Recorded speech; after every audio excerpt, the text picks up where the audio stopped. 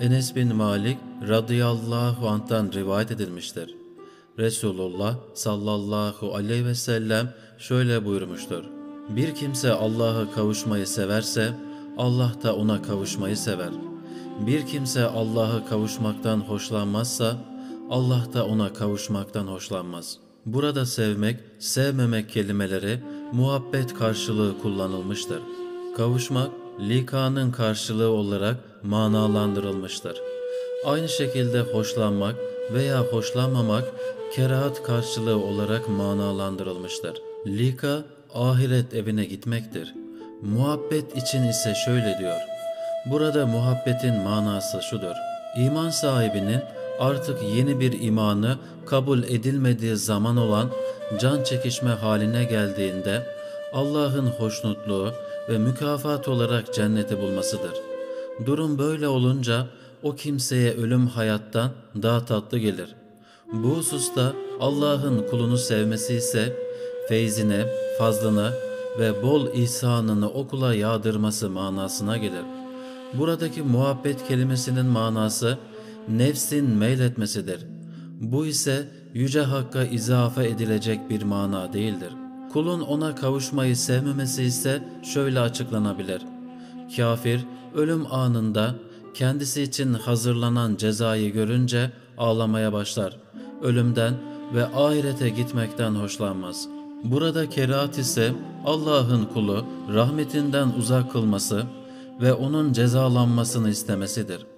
Yoksa buradaki kerahat maddi manada bir zorlama manasında değildir. Süfyan-ı Sevri der ki, onların Allah'a kavuşmayı sevmesi, Allah'ın onları sevmesine, keza sevme işleri de Allah'ın sevme işine göredir şeklinde bir mana çıkarmak doğru olmaz. Hadiste anlatılan mana o kulların vasfıdır. Onlar Allah'a kavuşmayı istedikleri zaman Allah da onlara kavuşmayı ister. Kulun muhabbeti de Rabbine tabidir. Ondan gelen sevgi sıfatının bir aksidir. Bu manayı şu hadis teyit eder. Allah bir kulu sevince kendisiyle meşgul eder. Yüce Allah bize zatına kavuşmayı, sevme tadını ihsan eylesin. Onunla mükafatlandırsın.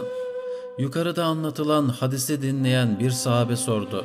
Ya Resulallah, hiçbirimiz ölümü sevmeyiz. Durumumuz ne olacak?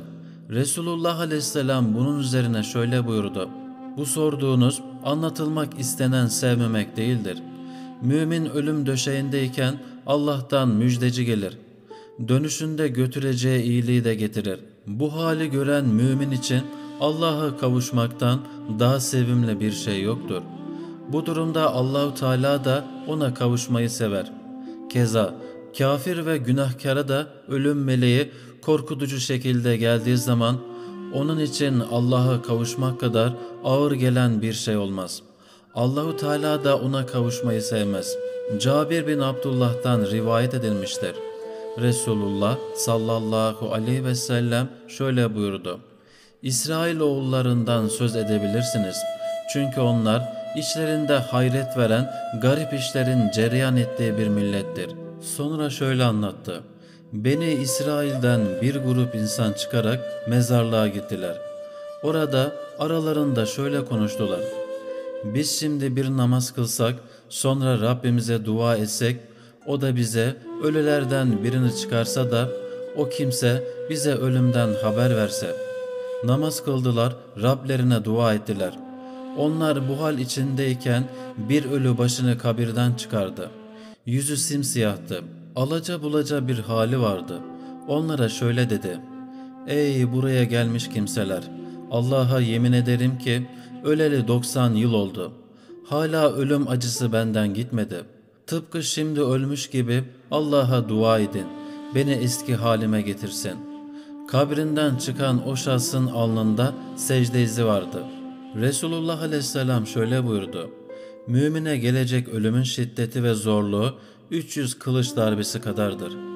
Bir kimse ölüme inanır, onun mutlaka geleceğine kane olursa, iyi amel işleyip kötü davranışları bırakarak ölüme hazır olması gerekir. Çünkü ölümün ne zaman geleceği belli değildir. Resulullah sallallahu aleyhi ve sellem ölümün şiddetini ve acısını beyan buyuruyor.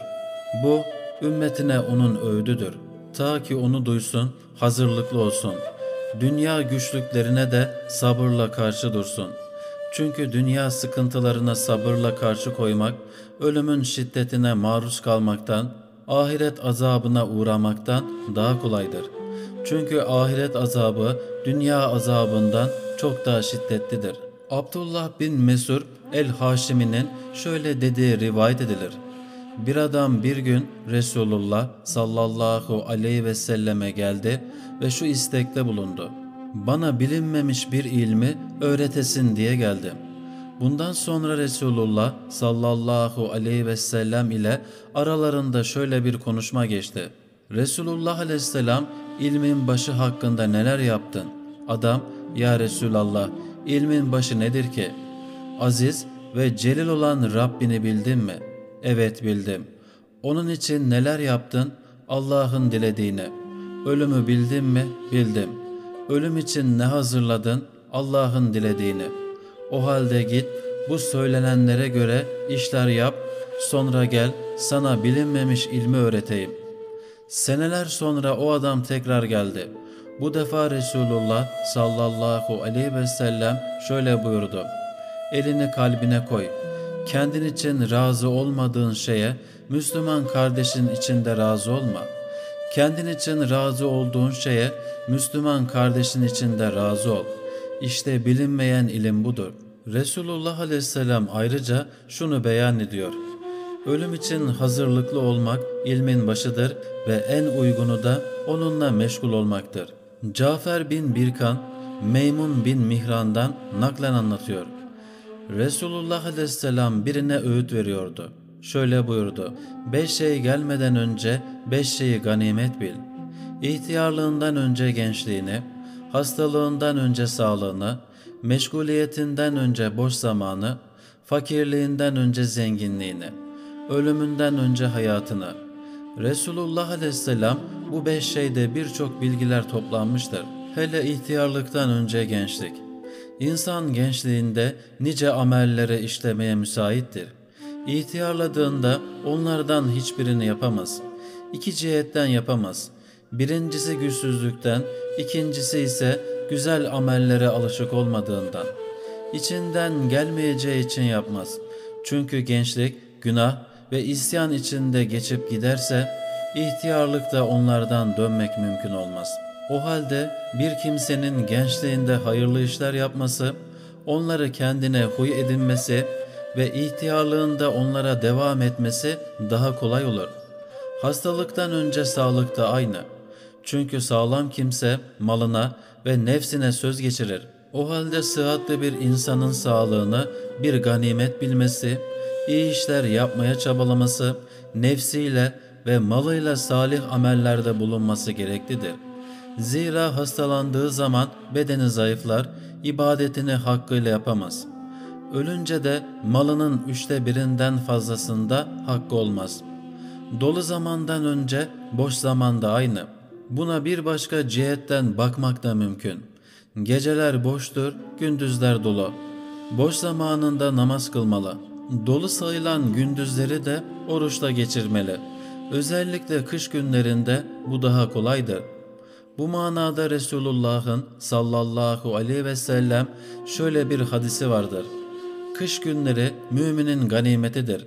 Geceleri uzun olur, namaza kalkar, gündüzleri kısa olur, oruç tutar. Bir başka rivayette Resulullah aleyhisselam şöyle buyuruyor. Gece uzundur, onu uyku ile kısaltma. Gündüz de aydınlıktır, onu günahlarla kirletme. Fakirlikten önce zenginlik. Allah'ın verdiği dünyalığa razıysan bunu bir ganimet bil. Halkın elindekine göz dikme. Ölümden önce hayat ise şöyle açıklanabilir.